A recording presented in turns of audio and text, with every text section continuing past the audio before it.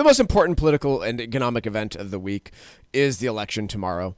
Uh, I, I would say most important economic event of the week too. Not because it's going to determine whether the economy continues to grow or contract, but obviously the priorities of the president and the Senate and the House are going to override really anything that I can think of that we might hear from Jerome Powell from publicly traded corporations or anywhere else. it is going to be the most important, even economic event of uh, of the week. Will be tomorrow's election, uh, the outcome of which hopefully we'll have some clarity about by Wednesday, and uh, all of the other stuff that's going to happen. I mean, you know the Federal Reserve is so aware of this that they kicked their meeting back by a full day so that they didn't have to uh, compete for any eyeballs with uh, with the election coming out. So that's going to be all that really matters, and I can understand why people listening might have a tough time focusing on anything other than that this week.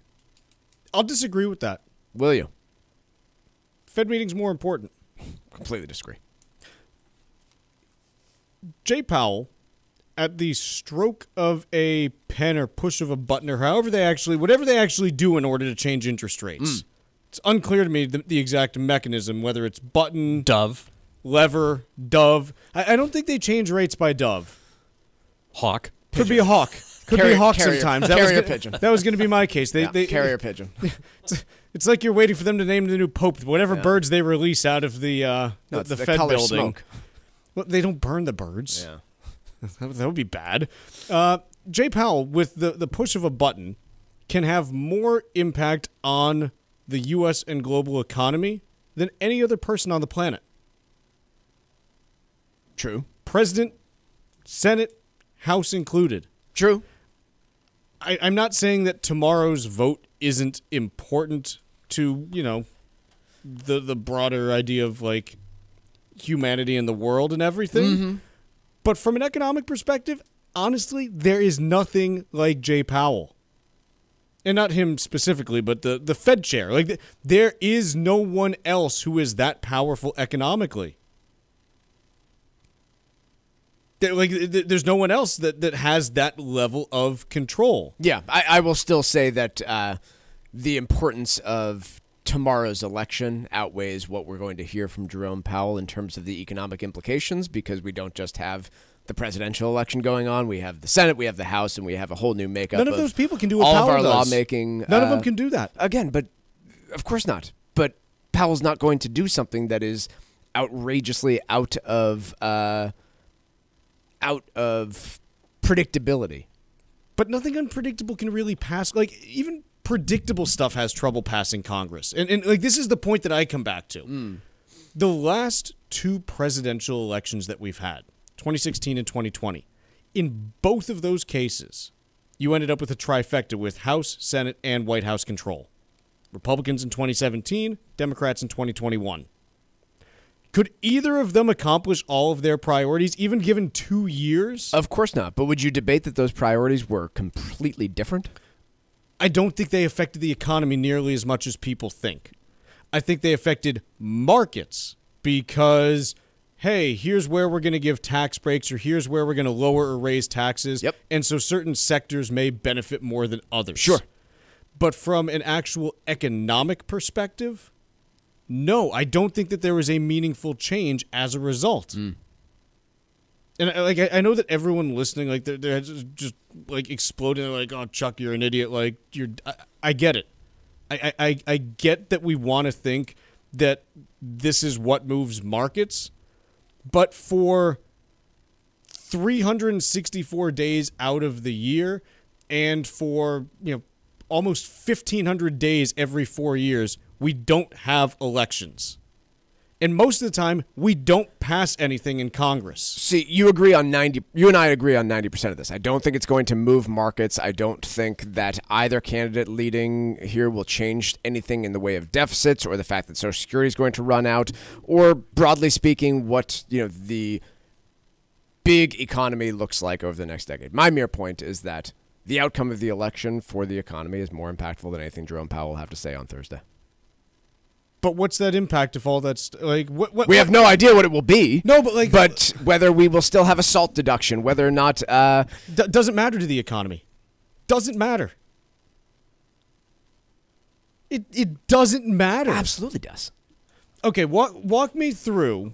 Again, No, no, no, no. This is this Sure. is this is really like I, there, there's a lot of meat here. I think this is like really great to to dig in on this. So what you're describing is what does it matter to the big gross economy of the whole United States? And no, the salt deduction doesn't matter. But Yes. would you say that the salt deduction doesn't matter to your personal economy? Would you say it doesn't matter to every person? you said. No, I said it doesn't matter to the economy. Yes, and I believe it does not matter to the economy. I believe it absolutely matters to the economy. no, Yeah. the the economy will figure out how to live with or without the salt deduction. 100%. But that's my like. That's, But it will prioritize different people, and different people will win or lose based on whether or not it happens. It is immensely more important than whatever Jerome Powell has to say this week. No, just here's the thing. Jay Powell can quite literally, if the Fed makes a policy mistake, not intentionally but accidentally. Sure. If the Fed makes a policy mistake, the U.S. has a recession. Mm-hmm. If Congress makes a tax code mistake, the U.S. like doesn't have a recession. It's just okay. Some people get more money and some people don't. Are we like on completely different pages here? If the U.S. Congress makes a bunch of mistakes, then we have another ten trillion dollars of deficits and potentially ruin the United States' long-term future. We've just talked about how there It's is so much more important. but we've talked about how there is no meaningful daylight on deficits between these two parties. Uh, agreed. So, like, what are we talking about then? I would think that a split Congress would be a net positive for all of this. Why? Split Congress or not, no one's dealing with it. Well, like, the, the point that I'm making is there's no meaningful difference in what you are going to get as far as the, the things that we're concerned about from an economic perspective. Deficit control, you know, how responsive Congress is in the event of a recession. Th- there- there's no meaningful daylight on these things. Mm. It's just, okay, if you end up with Democrats in office, okay, the money's going to clean energy instead of traditional energy. Yep. Like, is that something that we're really looking at and being like, well, you know, this is going to dramatically change the. No, like it's. Again, I don't know that it dramatically dramatically changes anything between the Republicans what would do and what the Democrats would do, but in terms of the importance compared to what's going to come out of Jerome Powell's mouth on Thursday, to me and I think almost every American's economy, real world economy, it is far more important. I don't know. I I, I just I I, don't I know you don't see it, but uh, I don't. I and, would, and, I would and look, firmly I- land on the other side. I. I, I, I think everyone listening thinks I'm the idiot, which is cool. Like it's it's fine. You can think I'm the idiot, but ultimately, like th- think about the last month just as an example, and what we've seen from interest rates and things like that. We're gonna say that like stuff like that doesn't matter more than, hey, like on the margins the tax code's going to shift from you know the top bracket being 37% to 39.6 or 37 to 35 like th- I, I i i i can't get there. Mm. Like I, I i just can't. And the thing about the fed is we, we don't know if they're making a big mistake until a year or two after the fact. Sure. like we, we can't judge any of this. Even look even congress if they make a mistake you look at it and you're like okay we won't know until mean, if we're talking the deficit, it could be like 45 years, sure. and it's probably not even this Congress then. So it's like, I, I, I just don't know how, from an economic perspective, we can look at it and say, yes, like tomorrow matters so much more than Thursday. A Fed mistake is, like, in my opinion, infinitely more important than whatever happens tomorrow from an economic perspective. Hmm. Because I, I would just say that a yeah, Fed mistake literally causes a recession. Yeah, and a again a depending on the makeup of how Congress looks like, the the country's economic priorities to me look vastly different under one party versus another.